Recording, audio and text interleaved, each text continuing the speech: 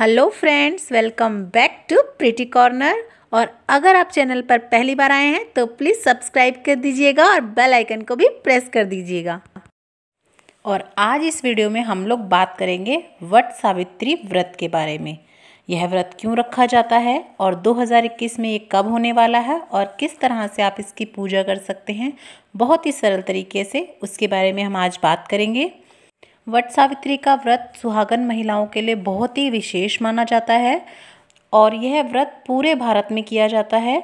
दक्षिण भारत में यह जो है जेठ की पूर्णिमा को किया जाता है वट पूर्णिमा व्रत कहा जाता है वहाँ पर इसे, और उत्तर भारत में ये जेठ मास की अमावस्या को किया जाता है। इसीलिए इसे उत्तर भारत में वट अमावस्या या बरसाती मावस के रूप में भी मनाया जाता है, और लोकल भाषा में इसे बरसाती मावस ही कहा जाता है। यह स्त्रियों का महत्वपूर्ण पर्व होता है। सुहागन महिलाएँ इस व्रत को ज़रूर रखें। इस दिन सत्यवान सावित्री तथा यमराज की पूजा की जाती है। सावित्री ने इसी व्रत के प्रभाव से अपने मृतक पति सत्यवान को धर्मराज जी से भी वापस ले आई थी। ऐसा मान्यता कही गई है और ऐसा कहा जाता है कि अगर सुहागन महिलाएँ इस व्रत को करती हैं तो उनको सुहाग अटल रहने का पुण्य प्राप्त होता है। साथ ही साथ पति की दीर्घ आयु होती है और घर में भी सुख समृद्धि आती है। अब हम इसकी विधि के बारे में बात कर लेते हैं कि हमें क्या क्या सामग्री चाहिए होगी और किस विधि से इसे किया जाता है। इस व्रत में वट वृक्ष का विशेष महत्व होता है। वट वृक्ष के नीचे ही बैठकर इसकी पूजा की जाती है। लेकिन कई कई जगह पर वट वृक्ष की डाली को तोड़कर घर लाकर भी इसकी पूजा करने का विधान है। वट वृक्ष के नीचे मिट्टी के सत्यवान, सावित्री और भैंसे सवार यमराज की प्रतिमा बनाकर भी इसकी पूजा करते हैं। कई लोग साथ ही साथ उनका चित्र लेकर उसकी भी पूजा कर सकते हैं। और कई कई जगह पे सिर्फ़ वट वृक्ष की ही पूजा की जाती है। बड़ की जड़ में पानी देना चाहिए। पूजा के लिए जल, मोली, रोली, कच्चा सूत, भिगोया हुआ चना, फूल तथा धूप होनी चाहिए। कई कई जगह पर वट वृक्ष के फल भी बनाए जाते हैं। उसके लिए थोड़े से आटे में गुड़ डाल दिया जाता है और फिर उनके छोटे छोटे से गोले बनाकर उसे तल लिया जाता है और इन्हीं से व्रत खोला भी जाता है।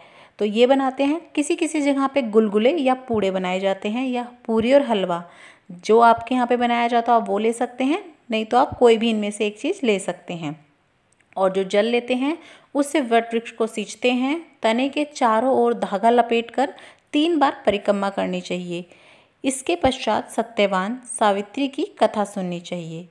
इसके पश्चात भीगे हुए चनों का बायना निकालकर और उस पर यथाशक्ति अनुसार कुछ रुपए या दक्षिणा रखकर सास को दे दें। और अगर किसी कारणवश आपकी सास वगैरह आपके साथ नहीं रहती या नहीं है तो आप किसी भी बड़े रिश्ते को, जिनके भी पैर छूकर आप कुछ भी दान पुण्य देते हैं, उन्हें दे दीजिए, नहीं तो किसी मंदिर में भी दे सकते हैं। जिस दिन वट सावित्री का व्रत होता है, उसी दिन सुबह स्नान आदि से निर्वृत्त होने के पश्चात साफ़ स्वच्छ वस्त्र पहने इस दिन हो सके तो या तो लाल रंग के या पीले रंग के ही वस्त्र पहने और साफ़ सुथरे वस्त्र पहने। कई कई लोग अपनी शादी का जोड़ा भी इस दिन पहनते हैं तो आप वो भी पहन सकते हैं। साथ ही साथ आप सिंगार ज़रूर करें। सोलह सिंगार ज़रूर करने चाहिए। जो भी सुहाग भाग का हमारा व्रत आता है, उस पर अच्छे से पूरे सोलह सिंगार करें। हाथों में मेहंदी अवश्य ही लगाएँ। और फिर अपने मन में माता रानी का ध्यान धरते हुए ये संकल्प लें कि आज हम माता सावित्री और सत्यवान की पूजा कर, करेंगे साथ ही हम व्रत करेंगे।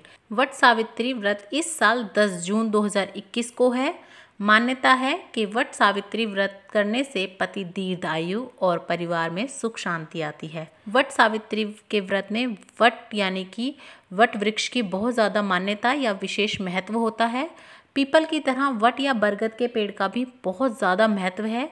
पुराणों की माने तो वट वृक्ष में ब्रह्मा, विष्णु व महेश तीनों का वास होता है।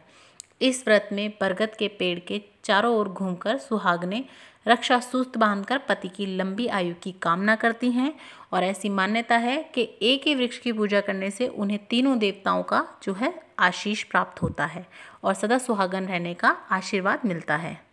और अब बात कर लेते हैं हम समय की। तो वट सावित्री व्रत 2021 में पड़ रहा है 10 जून को।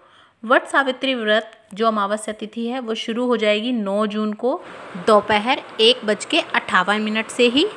और जो कि हमारी समाप्त होगी 10 जून को, शाम को चार बज के बाईस मिनट पे। तो तो इस प्रकार से जो हमारा वट सावित्री का व्रत होगा, वो होगा 10 जून को। तो इस तरह से व्रत कैसे करना है क्या क्या नियम होते हैं क्या महत्व है, मैंने आपको सब बता दिया है। और वट सावित्री व्रत की कथा की भी वीडियो मेरे चैनल पर मैं अपलोड कर दूँगी, आप जाके चेक कर सकते हैं। साथ ही साथ वट सावित्री से रिलेटेड और वीडियोज़ भी मैं अपने चैनल पर डाल दूँगी, आप जाके चेक करिएगा। जितने भी हिंदू के व्रत, पूजा पाठ आदि होते हैं, सबकी वीडियो आपको मेरे चैनल पर मिल जाएगी। तो आपको मेरा वीडियोस कैसी लग रही हैं, प्लीज़ कमेंट करके ज़रूर बताइएगा। और अगर अच्छी लग रही हो, मेरा चैनल पसंद आ रहा हो, प्रीटी कॉर्नर तो प्लीज़ लाइक कीजिएगा, शेयर कीजिएगा। और सब्सक्राइब करना तो बिल्कुल भी मत भूलिएगा। Thanks for watching